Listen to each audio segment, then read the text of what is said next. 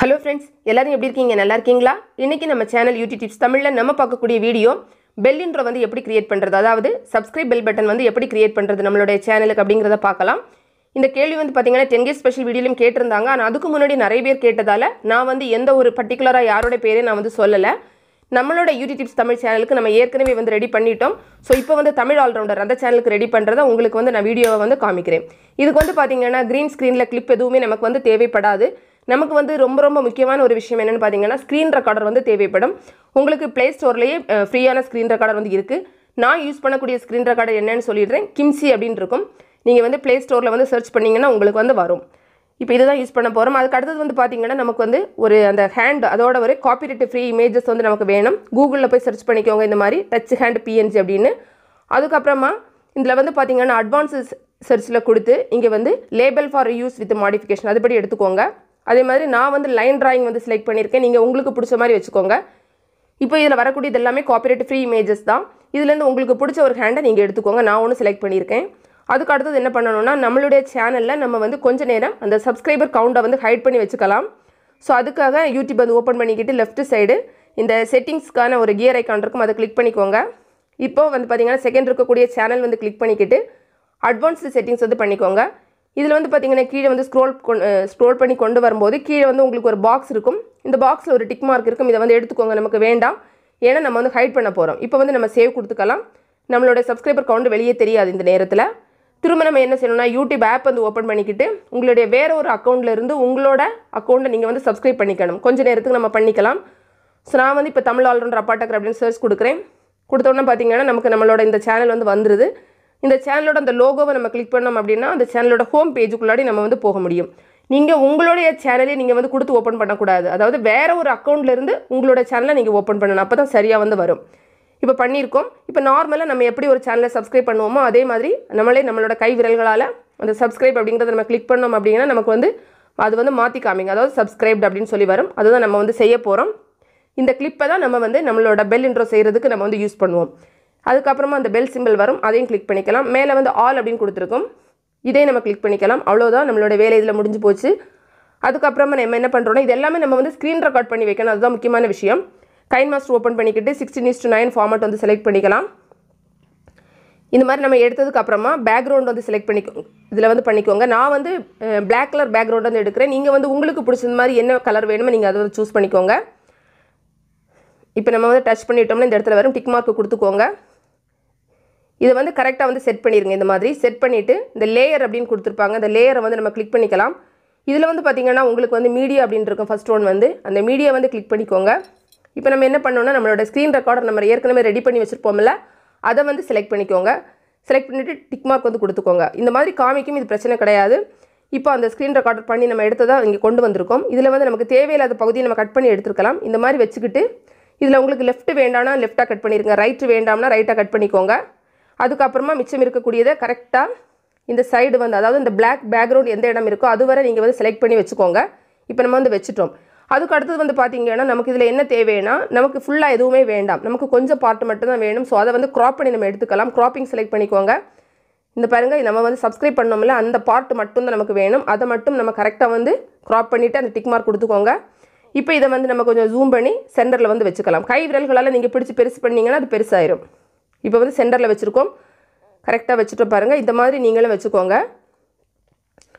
இதில் இன்னுமே நீங்கள் வந்து இந்த சைடில் எல்லாம் எக்ஸ்ட்ரா இருக்கிறதெல்லாம் நீங்கள் வந்து க்ராப் பண்ணணும் அப்படின்னா இந்த மாதிரி க்ராப்பிங் கொடுத்துட்டு நீங்கள் வந்து கை விரல்களால் இப்படி மூவ் பண்ணிங்கன்னா கரெக்டாக வரும் கட் பண்ணிக்கோங்க எல்லாமே கட் பண்ணிவிட்டு அதுக்கப்புறமா டிக் மார்க் வந்து கொடுத்துக்கோங்க கொடுத்துட்டு அதை மட்டும் இந்த பாட்டு மட்டும்தான் நமக்கு வந்து முக்கியமான தேவை ஸோ அதை வந்து நம்ம எடுத்துட்டோம் அதுக்கப்புறம் வந்து பார்த்திங்கன்னா சவுண்ட் எல்லாத்தையும் மியூட்டில் வச்சுக்கோங்க அதில் அதுக்கப்புறம் நமக்கு வந்து என்ன வேணும்னா இதில் வந்து அந்த நம்ம ஒரு கை வந்து டவுன்லோட் பண்ணி வச்சுருந்தோம்ல அதை வந்து நம்ம வந்து இதில் வந்து ஆட் பண்ணிக்கணும் இப்போ வந்து பார்த்திங்கன்னா ப்ளே பண்ணால் நம்ம கரெக்டாக ப்ளே ஆகுது ஆனால் அந்த ஹேண்ட் சிம்பிள் இருந்தால் தான் கரெக்டாக இருக்கும் ஸோ வந்து திரும்பவும் லேயர் கிளிக் பண்ணி மீடியா கிளிக் பண்ணி நம்ம வந்து டவுன்லோட் பண்ணி வச்சுருக்கக்கூடிய அந்த குட்டி கை ஒன்று வச்சுருக்கோம்ல அதை வந்து நம்ம வந்து எடுத்துக்கலாம் டிக் மார்க் கொடுத்துக்கோங்க செலக்ட் பண்ணிவிட்டு டிக் மார்க் வந்து கொடுக்கணும் எப்போவுமே அதே தான் பண்ணணும் கைன் மாஸில் எந்த ஒரு ப்ரொசீஜர் பண்ணுறதா இருந்தாலும் செலக்ட் பண்ணணும் அதுக்கப்புறமா டிக் மார்க் வந்து கொடுக்கணும் இப்போ பார்த்தீங்கன்னா இது வந்து அந்த ஸ்க்ரீனில் வந்துடுச்சு ரொம்ப பெருசாக இருக்குது நீங்கள் ஜஸ்ட் அட்ஜஸ்ட் பண்ணிக்கோங்க கை விரல்களாலே அட்ஜஸ்ட் பண்ணிக்கலாம் சின்னதாக வச்சுக்கோங்க இந்த மாதிரி எந்த இடத்துல தேவையோ அந்த இடத்துல நம்ம வச்சுக்கலாம் வச்சுட்டு நம்ம வந்து இன் அனிமேஷன் கொடுத்துட்டு இதில் உங்களுக்கு என்ன இது வேணுமோ செலக்ட் பண்ணிக்கோங்க நான் வந்து இதில் வந்து ஸ்லைடு அப்போ வந்து கொடுக்கலாம்னு நினைக்கிறேன்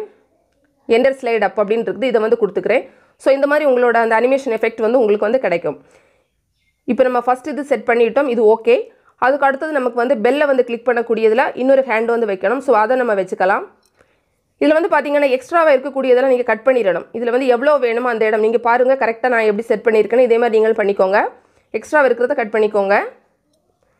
இப்போ வந்து திரும்பவும் இதில் நம்ம வச்சுக்கிட்டு ஒரு அந்த கை வந்து நம்ம வச்சுருக்கோம்ல அதை எடுத்துக்கலாம் மீடியா கிளிக் பண்ணி கேலரியில் போய் நம்ம வச்சுருந்த அந்த ஹேண்ட்ஸ் குட்டியாக ஒன்று இருந்துச்சுல அதை எடுத்துக்கோங்க அவ்வளோதான் எடுத்துகிட்டு வந்தோம்னா இது வந்து பெருசாக இருக்கும் திரும்பவும் அதை சைஸை வந்து சின்னது பண்ணி ஃபஸ்ட்டில் எப்படி பண்ணோமோ அதே மாதிரி தான் பண்ண போகிறோம்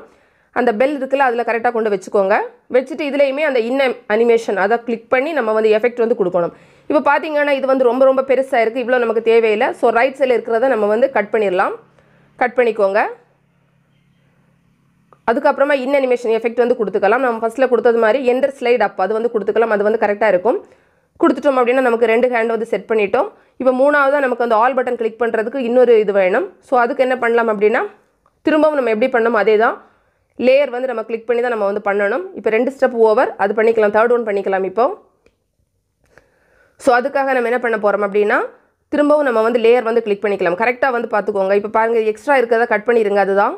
லேயர் கிளிக் பண்ணிவிட்டு மீடியாவில் போயிட்டு திரும்பவும் அந்த கை வந்து டவுன்லோட் பண்ணி வச்சுருந்தோம்ல அதை வந்து நம்ம வந்து கொண்டு வந்துக்கலாம் எடுக்கும்போது டிக் மார்க் மறக்காமல் கொடுத்துருங்க அப்போ தான் கரெக்டாக வரும் நான் சொல்லும்போது ஒருவேளை உங்களுக்கு கொஞ்சம் கஷ்டமாக இருக்கும் பண்ணும்போது ஈஸியாக தான் இருக்கும் நீங்கள் ஒன்று பண்ணிட்டீங்கன்னா எல்லாமே கரெக்டாக பண்ணிடலாம்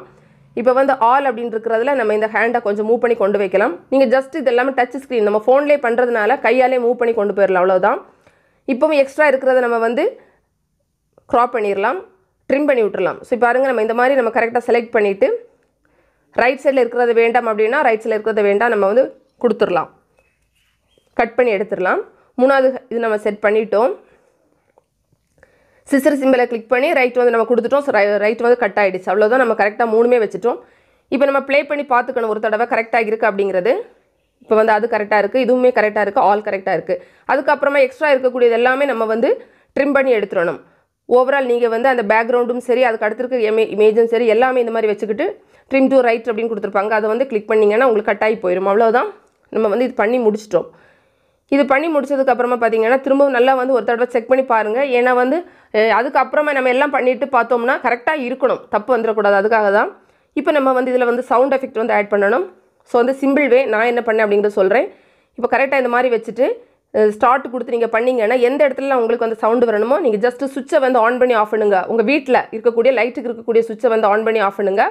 உங்களுக்கு வந்து அந்த இடத்துல வந்து அந்த சவுண்ட் எஃபெக்ட் வரும் இல்லை நீங்கள் வந்து டவுன்லோட் பண்ணி வச்சு ஏதாவது சவுண்டு கொடுக்கணும் அப்படின்னா எப்படி பண்ணுறதுன்னு பார்ப்போம் அதுக்கு வந்து என்ன பண்ணணும் இந்த ஆடியோ கிளிக் பண்ணிவிட்டு டவு ஃபோல்டர் அப்படின்னு இருக்கும் அதை கிளிக் பண்ணி டவுன்லோடு கிளிக் பண்ணி நீங்கள் வந்து நான் இப்போ ஷிப் பெல் அப்படின்னு இருக்கு அதை வந்து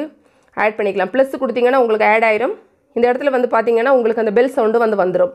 இதுவுமே நீங்கள் இந்த மெத்தட் படி நீங்கள் ஆட் பண்ணுறதுனா பண்ணலாம் பட் நான் வந்து விரும்பலை ஸோ நான் அதனால் வந்து இதை எடுத்து விட்டுறேன் எனக்கு வேண்டாம் நான் டெலிட் பண்ண போகிறேன் அதை வந்து ஜஸ்ட்டு வீட்டில் நம்ம இருக்கக்கூடிய சுவிட்ச் போர்டில் இருக்கக்கூடிய சுவிட்சை வந்து கிளிக் பண்ணி அந்த சவுண்டை மட்டும் தான் நான் வந்து எடுத்துருக்கேன் ரெக்கார்ட் பண்ணியிருக்கேன் இப்போ வந்து பார்த்திங்கன்னா நம்ம வந்து எக்ஸ்போர்ட் பண்ணிக்கலாம் எல்லாம் கரெக்டாக இருக்குது எக்ஸ்போர்ட் கொடுத்துட்டோம் இது வந்து எக்ஸ்போர்ட் ஆன உடனேயே நம்மளோட வீடியோக்களை நம்ம வந்து பயன்படுத்திக்கலாம் இப்போ அது எப்படிங்கிறத நம்ம பார்ப்போம் இப்போ நம்ம வந்து ரெடி பண்ணிட்டோம் நம்மளோட வீடியோவில் எப்படி செட் பண்ணுறதுன்னு பார்ப்போம் நான் வந்து இந்த வீடியோவில் லேயர் கிளிக் பண்ணி மீடியா கிளிக் பண்ணியிருக்கேன் அதில் வந்து பார்த்திங்கன்னா கேலரியிலேருந்து எக்ஸ்போர்ட்டில் இருக்கக்கூடிய அந்த ஃபைலை வந்து இங்கே கொண்டு வந்திருக்கேன் கிளிக் பண்ணால் போது நமக்கு வந்துடும் இப்போ வந்து ஃபுல் ஸ்க்ரீனில் வைக்கிறதுனா கை விரல்களால் நம்ம பிடிச்சி கொஞ்சம் அதை பெருசு பண்ணோன்னா கரெக்டாக இருக்கும் இந்த மாதிரி வந்து வீடியோவோட ஆரம்பத்துலேயும் முடிவுலையும் நம்ம வந்து ஃபுல்லாக கூட வச்சுக்கலாம் பார்க்குறதுக்கு நல்லா தான் இருக்கும் இல்லை நம்ம வந்து சின்னதாக வைக்கணும் அப்படின்னா க்ராப் பண்ணிக்கலாம் ஸோ அது எப்படிங்கிறத பார்ப்போம் இப்போ வந்து ஃபஸ்ட்டு டைம் லைனில் வந்து செலக்ட் பண்ணிக்கோங்க பண்ணிவிட்டு ஸ்க்ரீனில் வந்து கை விரல்களால் மூவ் பண்ணி அது சின்ன சைஸில் வச்சுக்கோங்க க்ராப்பிங் வந்து கிளிக் பண்ணிக்கோங்க கிளிக் பண்ணிவிட்டு இந்த சைடு வந்து சின்னதாக வந்து இந்த மாதிரி மூவ் பண்ணிக்கோங்க பண்ணிவிட்டு நாலு சைடுமே உங்களுக்கு எந்த அளவு சைஸுக்கு வேணுமோ அந்த அளவு சைஸில் நீங்கள் வச்சுக்கிட்டு நீங்கள் வந்து க்ராப்பிங் வந்து கொடுத்துக்கணும் இந்த மாதிரி தான் பார்த்துக்கோங்க உங்கள் சைஸுக்கு ஏற்றது மாதிரி இது எப்போவுமே ஒவ்வொரு ஸ்டெப்பும் பண்ணும்போது அந்த டிக் மார்க் வந்து மறக்கக்கூடாது அதுதான் ரொம்ப இம்பார்ட்டண்ட்டு டிக் மார்க் நம்ம கொடுக்கலன்னா நமக்கு அது கரெக்டாக வந்து செட் ஆகாது சேவ் ஆகாது அதுதான் இப்போ வந்து நான் வந்து நாலு சைடும் பண்ணிவிட்டேன் டிக் மார்க் கொடுத்துட்டோம் இப்போ ப்ளே பண்ணி பார்க்கலாம் நமக்கு சைஸ் வந்து சின்னதாக இருக்குது ஆனால் என்ன பிரச்சனைன்னு பார்த்தீங்கன்னா இதில் வந்து சென்டரில் இருக்குது ஸோ நம்ம கொஞ்சம் கீழே கொண்டு வந்துக்கலாம் அதுக்காக தான் கீழே கொண்டு வந்தோம்னா வீடியோவை வந்து டிஸ்டர்ப் பண்ணாது அதனால் இப்போ இன்ன அனிமேஷன் அப்படின்னு இருக்கும் அதாவது நீங்கள் அந்த ஜஸ்ட் அந்த கிளிப்பு உங்களோட ஸ்க்ரீன் ரெக்கார்ட் பண்ணி வச்சுருந்தீங்களா அதை கிளிக் பண்ணாலே உங்களுக்கு வந்து அந்த இது செலக்ட் ஆகும் அதுலேருந்து நீங்கள் இன்ன அனிமேஷன் வந்து எடுத்துக்கோங்க எடுத்துகிட்டு நம்ம எஃபெக்ட் நமக்கு தோன்றது மாதிரி நம்ம கொடுத்துக்கலாம் இப்போ சென்டரில் வச்சுக்கிறேன் ஸோ கொஞ்சம் மூவ் பண்ணி இந்த லெஃப்ட் சைடை நம்ம வச்சுக்கலாம் வச்சுட்டு திரும்பவும் நம்ம வந்து நம்ம பிடிச்ச நமக்கு ஒரு இனி அனிமேஷன் வந்து நம்ம கொடுக்கலாம் இதில் வந்து பார்த்தீங்கன்னா அந்த ஸ்லைட் அப் அப்படின்னு சொல்லிட்டு ஒன்று இருக்கும் அது கொடுத்தோம்னா கரெக்டாக வரும் நமக்கு வந்து அவுட்டுக்கு வந்து கொடுக்கணும்னு கட்டாயம் கிடையாது இந்த மாதிரி நீங்கள் உங்களுடைய வீடியோவில் வந்து செட் பண்ணிக்கோங்க இந்த வீடியோ பிடிச்சிருந்தா லைக் பண்ணுங்கள் உங்களோட ஃப்ரெண்ட்ஸ்க்கு வந்து ஷேர் பண்ணிக்கோங்க மேலும் பல வகையான யூடியூப் சம்மந்தப்பட்ட தகவல்களுக்கு நம்ம சேனல் யூடியூப் டிப்ஸ் தமிழ் சேனலில் மறக்காமல் சப்ஸ்கிரைப் பண்ணுங்கள் தேங்க்ஸ் ஃபார் வாட்சிங் நன்றி வணக்கம்